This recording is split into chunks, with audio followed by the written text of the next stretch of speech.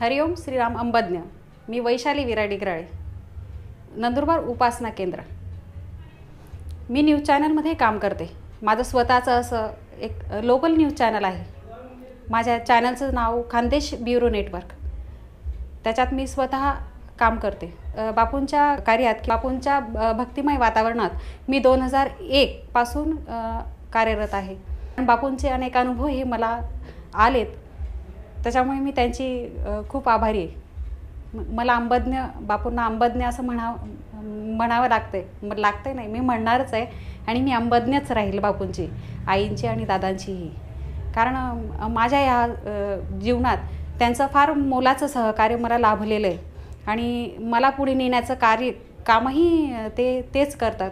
कारण या क्षेत्रात खंबीरपणे उभं राहावं लागतं. आणि ते खंबीर नेतृत्व माझ्यात जर निर्माण केलं असेल तर ते माझ्या फक्त बापूंनीच निर्माण केलं आहे कारण मी त्यांची खूप आभारी आहे. मला प्रत्येक गोष्टीतून अनुभव ते देत गेले आणि त्या अनुभवातून मला काहीतरी शिकायला मिळालं. आणि त्या त्यातून माझ्यात फार मोठा आत्मविश्वासही निर्माण झाला. त्यातलाच एक अनुभव मी तुम्हाला सांग इथे सांगणार आहे. माझं स्वतःचं न्यूज चॅनल आहे. न्यूज चॅनल म्हटलं म्हणजे हा एक सामाजिक उपक्रम असतो. आणि न्यूज चॅनलचा जर उत्पन्नाचा भाग म्हटला तर हा एक जाहिराती जाहिरातीच्या माध्यमातून न्यूज चॅनलचं सगळं स कार्य चालत असतं. मी ह्या कार्यामध्ये कधीतरी आपल्याला जाहिरात मिळाल्या तर त्या खूप मोठ्या प्रमाणात मिळतात. नाहीतर काही वेळेस मिळत नाही. व्यवसाय म्हटला तर दहा रुपयाचाही व्यवसाय होतो. अन्यथा शंभर रुपयाचा देखील व्यवसाय म्हणजे शंभर रुपयाचा व्यवसाय होतो परंतु दहा रुपयाचा व्यवसायही कधी होत नाही असाही प्रकार याच्यात घडत असतो. परंतु सामाजिक जाणीव मनात ठेवून लोकांपर्यंत न्यूज पोचवणं हा हा एक मोठा उपक्रम आपल्याला करावा लागतो. कारण आपण लोकांपर्यंत पोहोचत असतो आणि लोकांपर्यंत पोहोचण्याचं हे एक माध्यम म्हणून आपल्याला हे काम करावं लागतं. परंतु असाच एकदा मला अनुभव आला की ज मला न्यूज चॅनलचे जवळजवळ महिन्याला बारा हजार रुपये पे करावे लागतात. म्हणजे कंट्रोल रूम असतात त्या कंट्रोल रूममध्ये आपल्या चॅनलच्या ज्या पिना असतात म्हणजे जर शॉर्टकट सांगायचं असलं तर एक केबल न्यूजची जी छत्री असते ॲनालॉग वगैरे जे असतात त्याच्यात आपल्या चॅनल चॅनलची एक वायर असते आणि ती पिन वगैरे तिथे लावावी लागते आणि तिथून प्रक्षेपण होतं कंट्रोल रूममधून त्याचा मंथली पेमेंट आपल्याला द्यावा लागतो. म्हणजे इतर खर्च वेगळा. आपलं शॉपिंग भाडं असेल परत अँकरिंगवाल्यांचे पैसे असतील जाहिरातवाल्यांचे असतील मेंटेनन्स खर्च असतो त्याच्यानंतर आपले केबलचे पैसे असतात हे सगळे पे करावे लागतात. म्हणजे महिन्याला सर्वसाधारणपणे पन्नास हजार रुपये खर्च तरी लागतो. म्हणजे पन्नास हजार रुपयात रुपये जर खर्च आपला असेल तर निदान आपल्याला एक लाख रुपये आपली इन्कम हवी. पण कधीतरी निघाले तर पन्नासही निघत नाही आणि निघाले तर एक लाखाच्या वरतीही निघतात. पण हा सगळा तोटा व्यवसायात सहन करावा लागतो. व्यवसाय करायचा म्हटला तर नफा आणि तोटा या दोघं गोष्टी सहन करण्याची ताकद आपल्यामध्ये असायला हवी. आणि ही ताकद बापूंनी आमच्यात निर्माण केली. म्हणून आजपर्यंत जवळजवळ आठ वर्ष माझ्या न्यूज चॅनलला झालीत आणि मी खंबीरपणे या चॅनलचं नेतृत्व मी आणि माझे मिस्टर दोघंही करतोय. पण असाच एकदा एक एका महिन्याला आमच्याकडे जवळजवळ बारा हजार देण्या इतकं इतके इतकासुद्धा पैसा आमच्याकडे नव्हता. आणि नेमकं कसं असतं तुम्ही मंथली पेमेंट भरलं तर तुमचं चॅनल प्रक्षेपण दिसतं. आणि जर तुमच्याकडे पैसे नसतील पे करायला तर लगेच पिन काढली जाते. म्हणजे तुमचं चॅनल प्रक्षेपण हे थांबून जातं. पण तिथे सहकार्याची भावना होती. परंतु त्या वेळेस नेमकं काय झालं की वरूनच आम्हाला इन्फॉर्मे म्हणजे नियम इन्स्ट्रक्शन्स मिळाल्या होत्या की तुम्ही ह्या महिन्याला जर पैसे पे नाही केले तर तुमचं प्रक्षेपण हे बंद होईल. आणि विशेष म्हणजे आमच्याकडे उदरनिर्वाहासाठी फक्त हे हे हे एकच चॅनल आहे. त्याच्या व्यतिरिक्त कोणता व्यवसायही नव्हता. त्याच्यामुळे आम्हाला कुठूनही पैसे करून भरणं गरजेचं होतं. जवळजवळ माझ्याकडे त्यावेळेस फक्त माझ्या अकाउंटला पाच हजार रुपये शिल्लक होते. मग आणायचे उरलेले आठ हजार कुठून? आणि वेळ किती? फक्त दोन दिवस. या दोन दिवसात मला आठ हजार रुपये गोळा करायचे होते. आणि विशेष म्हणजे आपल्याला कुणाकडे मागण्याची सवय नाही. आणि आपले गावात कुणी नातेवाईकही नाही. आणि मागायचं कुठून?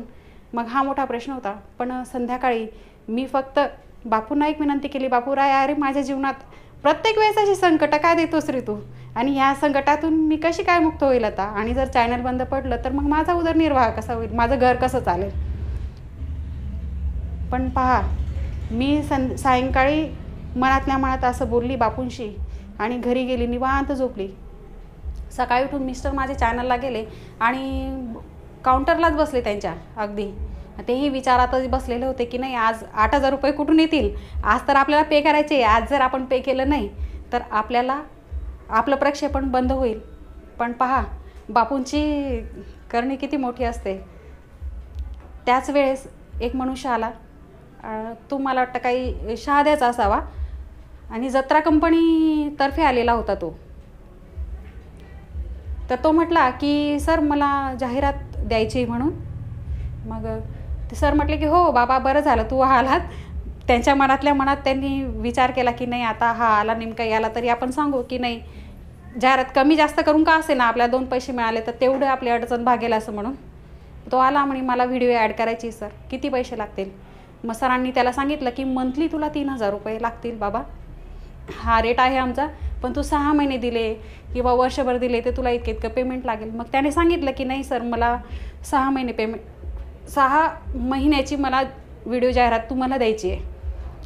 मग सरांनी त्याला सहा महिन्याचे जवळजवळ साडेआठ हजार रुपये पेमेंट त्याला काय डिस्काउंट वगैरे देऊन वगैरे सांगितले. गरज तेवढीच होती ना आठ हजाराची. त्याच्यामुळे सरांना फक्त आकडा दिसत होता की नाही मला किती पाहिजे? आठ हजार रुपये पाहिजेत. त्याच्यामुळे सरांनी त्यालाही तेवढाच आकडा सांगितला. की साडेआठ हजार रुपये दे भाऊ मला आणि मी तुझी जाहिरात वगैरे लावतो म्हणून. त्यांनी जागेवर पैसे पे केलेत. पण जाताना तो काय म्हणाला की मी ज्या दिवशी तुम्हाला कॉल करेल त्या दिवशीच तुम्ही माझी माझ्या जत्रा कंपनीची जाहिरात बनवण्यासाठी तुम्ही तिथपर्यंत तुमचा कॅमेरा घेऊन या. अन्यथा येऊ नका. येऊ नका असं म्हटलाच नाही पण म्हटला तो की फक्त तुम्ही तिथपर्यंत या म्हणून मी तुम्हाला कॉल करेल. आणि विशेष म्हणजे जाताना त्याने नंबरही नाही दिला. आणि त्या घाईगडबडीत सरांना नंबरही घेणं माझ्या मिस्टरांना नंबर घेणंही आठवण पडली. परंतु तो त्या दिवसापासून जो गेलेला म्हणजे आज त्या गोष्टीला जवळजवळ दोन वर्ष झालीत. म्हणजे दोन वर्षापासून तो त्या दिवसाचा गेलेला आजपर्यंत आलेला नाही. कळत नकळत का असे ना बापूने त्या दिवशी खूप मोठी मदत केली. अगदी काहीच म्हणजे अगदी शब्द अपुरे असतील बापूंच्या या सहकार्याला किंवा या करुणेला. म्हणजे माझ्याकडे अगदी शब्दसुद्धा तोडके आहेत. शब्दच नाहीत माझ्याकडे अगदी. मग मी संध्याकाळी माझे मिस्टर आले त्यांनी मला सांगितलं. आणि त्या गोष्टीला आज तागाय दोन वर्ष झाल्यानंतरही माझ्या मनात फक्त एकच प्रश्न आहे तो मनुष्य आला नाही तिथपर्यंत. मग आपल्याला पैसे द्यायला कोण आलं? आलं तर ते बापू स्वतःच त्याच्या रूपात आले आले. आणि आम आमची मदत त्यांनी केली. म्हणजे हा खूप मोठा अनुभव आमच्यासाठी बापू देऊन गेलेत. हरिओम श्रीराम अंबज्ञ.